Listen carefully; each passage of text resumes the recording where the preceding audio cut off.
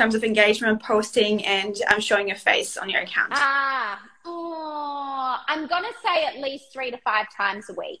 If you're not showing up at least three times a week, you need to be. In terms of like, you need to be.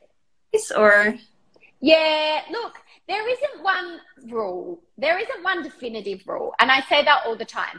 Every business is different, every follower is different, and what your follower wants from you is going to be different from the follower next to you. It depends on your business. It depends on like, are you a shop that has new clothing items coming in every day that you can continue to share, like things like that. But I think if you can always be ensuring you're showing up at least three to five times a week, and what really helps with that is content planning. So if you can plan your content for the month, use a scheduling app like Planoly, Plan Favorite. Um, then you're you're going to show up more and you're going to show up consistently because instead of opening your phone every day and going oh my god what am i going to post today? I don't know what to post. And then you just scroll and then you scroll and then half an hour's gone by and you think of three things that you could post and then you see your competitor and you think oh my god their post is so much better than my post why should i even bother? And then you shut down your app and you don't post. And then you keep doing that every single day and then it's the end of the week and then you haven't posted anything and then you just put up a random meme because you feel like oh, I better cut something up. And then you get yeah. no results because you don't have a proper strategy. If you pre plan your content, you can avoid all of that and you can actually get results. Well, it's basically me most of the time. So definitely need to step that up a little bit more. Um, but yeah, I know like when I do it, it works really well, but just like taking time because it is very time consuming to have like a consistent good content. Like I'm not a believer of like just smashing something out just for the sake of it, but like having something actually then that is like really good content takes a lot of time to actually plan the whole thing ahead. Yeah, I do recommend set like every small business owner should set aside a day a month to content plan. Um, in the social club, I have content planners that I teach, and that's what I recommend anyone that's content planning for the first time does they set aside a day a month. And I know there's people who might think, oh my God, a whole day. But this is your marketing strategy. If you are using Instagram as your main channel to tell the world that you exist and to get customers, a day a month is nothing. Like there's businesses that have entire marketing teams that work every day, all day on doing this. So if you're a small business and you want to compete with the bigger brands online, which you are doing whether you like it or not, a day a month is a very, very, very small inve- investment into growing your brand online. Okay. Um, and one probably hot topic now, right now as well, is TikTok versus Instagram because um, with all the Zuckerberg announcement and everything, there's a lot of movement happening towards TikTok. Mm-hmm. Um, obviously it's still different, but it's also very similar and it's getting more like similar and similar every day. So mm. I was wondering, what is your thought about like Instagram versus TikTok? So everything TikTok does, Instagram copies. Um, yeah. You can guarantee if there's a new feature on TikTok, it'll be coming to Instagram not far behind. I think for small business owners, I still believe that you really need to identify who is your customer.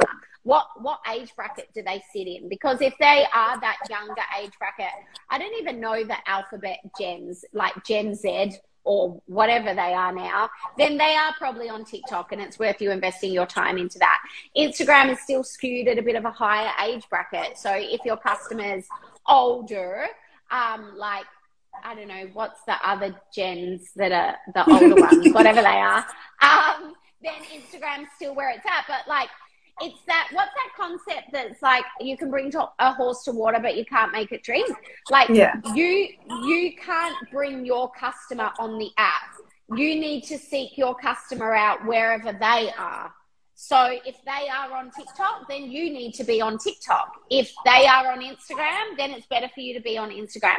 If they're on both, then be on both. But I I think anything that you do on TikTok can also be great practice for Instagram because Instagram just copies everything TikTok does anyway.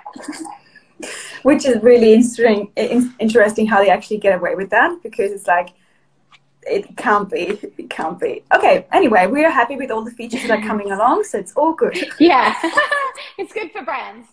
Absolutely. And in terms of like, obviously, you've been very close with all the features and all the latest trends and everything that's coming up with Instagram. Do you have like any kind of insights or any kind of um, feeling where things things are going in the future? I get asked this all the time. Like, I spend every single day looking at what's coming and what's hot on um, Instagram, but I also don't know more than you. I just spend more time looking into researching. It. Yeah. So yeah, researching, which I absolutely love. Something that I would really like to see, which I've been saying for ages, I would love a service shopping feature. So right now, the Instagram shop, you have to have a product.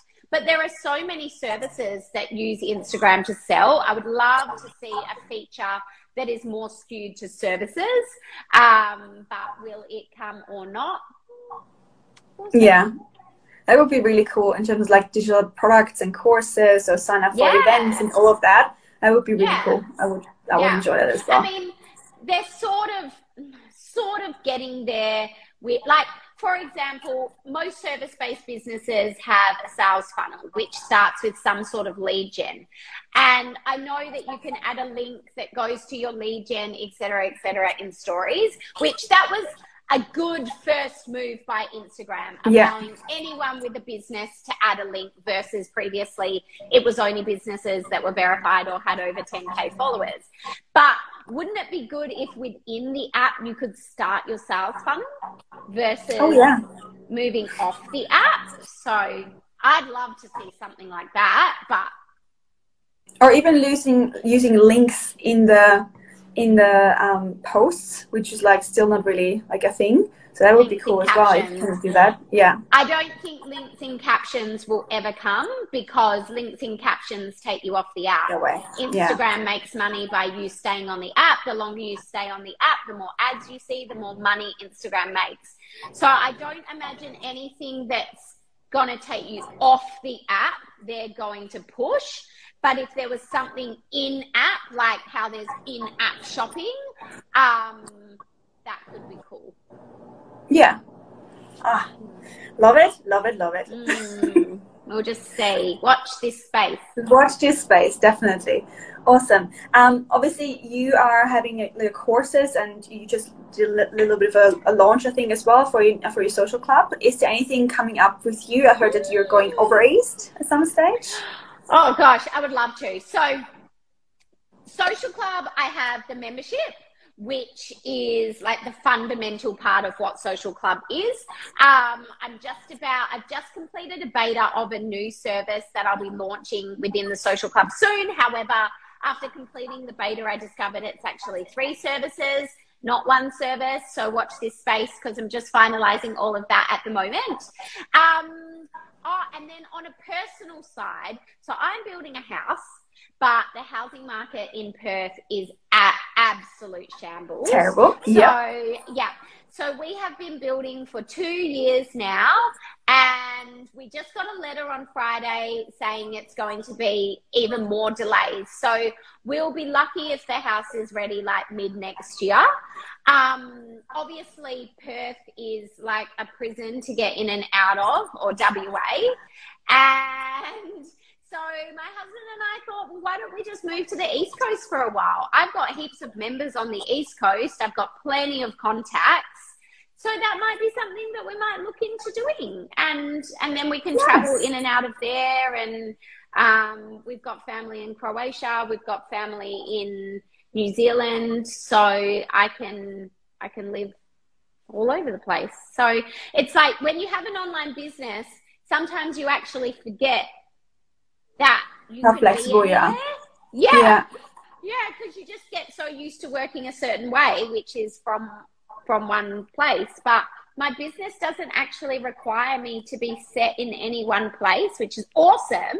I just think i need to kind of realize that myself yeah and take advantage um, of it a little bit I've, I see a very, very, uh, a lot of similarities my partner is also Croatian, so we also want to spend more time in Croatia. And we're also nice. building a house right now, and the house market is terrible. So yeah, I totally get where you're going, where you're coming from. Yeah, and like I kept saying to my husband because I do like to try and find, you know, the silver lining on every story. And I kept saying to my husband, there's got to be something else. Like there needs to be another reason or something we do that we never would have done if our house was ready in time. And I yeah. feel like this is what it might be. So we'll see. Time for an adventure. Time for an adventure, right? Like, why not? We've been stuck here for three years. Like, ah, get me out of here. yeah, I feel you. Um, is there anything um, in that you obviously there's such a uh, Instagram is such a big topic, and there's like we could talk there forever. Is there anything in particular that you um, that we need that we need to still share, or that you want to share to round this thing up? Look, I think when it comes to Instagram, don't get sucked into the highlight reel because actually consumers don't want that. I think when Instagram first came around and, you know, it was the first app that had filters and filters were something completely new and people got really caught up in filtering content and then all the different photo editing apps started to explode and people got really into that as well. But there's definitely been a push up against that. Like people just want real. They, no matter what stage in your, of your business you're at. That that they want to see where you're at and they want to meet you where you're at. So I don't know why, but a lot of businesses, I think, when they start, have to pretend that or feel like they have to pretend they're this massive global conglomerate for people to take notice of them. But it's not true. Just just show up as you are doing what you're doing with integrity, with authenticity, and that's going to grow your account a lot faster because you're going to be so much more relatable. Relatable. Totally, and and that's what that's what users want. So I know people say it time and time again, but really just focus on being you rather than copying what anybody else is doing and you will get results a lot faster. I promise you. There was one last question I totally forgot to ask. Influencer marketing, because that's obviously such a massive topic as well, and totally forgot about that mm. because e-commerce and influencer marketing is like one on one on the same mm. many times. Um, yeah. How, like, what do you think is like a good way to um, to look for like an influ- influencer when like companies are coming and say like, cool, I need to like have, get a little bit more exposure with like mm-hmm. influencers. Mm-hmm what is a good way to find good influencers for them? So honestly, I think you really want to, you need to nail down your ideal client. So you need to know who you're selling to, right? When you know who you're selling to, you can find influencers that are this person. Like, let's say you're a fitness brand you're wanting to find an influencer that promotes fitness brands because their following are going to be people that follow them for the fitness brands they promote. So you want it to come across as like organic and valuable to their audience because that's when people are going to buy. So, really ensuring that the influencers that you're using have a following that is made up of your ideal client, asking them, them for screenshots of their insights so you can ensure that, you know, let's say, again, if it's a fitness model and you're a fitness brand, that their following isn't made up like of 90% of men from India like you, you want to ensure that their followers are your customers, and there's nothing wrong with asking to see an influencer's insights. So just really make sure that you take your time and you find influencers that also respond to comments, respond to DMs, genuinely engage with their following rather than just slapping up a post, taking your money, and then, you know, disappearing or deleting the post later. So that would be my best my best tips to get started. Okay. And in terms of the size of the influencers, would it be like um, smaller and keep it more real, or? I mean, look, again, there's a lot of conversation for and against smaller versus bigger. I think it depends on your budget, really. If you've got the budget to hire a massive influencer that has phenomenal engagement with a following that is all your customer, then go for gold. But if you don't, there's absolutely nothing wrong with the smaller or micro influencers because they generally have a much higher engagement rate anyway. So higher engagement rate means higher influence over their followers, which essentially means more sales for you if if you're hiring them to do a campaign. So do your research, um, work out what your budget is, and then and then find the best match for your brand. Awesome. Thank you so much, Brooke, for your time. I really appreciate all your insights and knowledge nuggets that you share with us. And sorry about the little technical issues in between, oh, but we got fine. there eventually. we got there, and that's what happens with technology. I always say I'm allergic to technology, or it's allergic to me, because things like that just always happen when I'm teaching. Like if something can go wrong with tech, it will happen in my vicinity. So apologies. Well, at least that was probably my fault. That's all. That is totally yeah. I am, I am used to it. The show must go on is my motto. nice, awesome. Thank you so much. And yeah, if you need anything in terms of Instagram, go make sure you follow Brooke and you get um, into the social club because she's an absolute legend. Thank you, Aaron. Thank you to everyone who joined us today. Much appreciate your time. Thank you very much. Have a good day.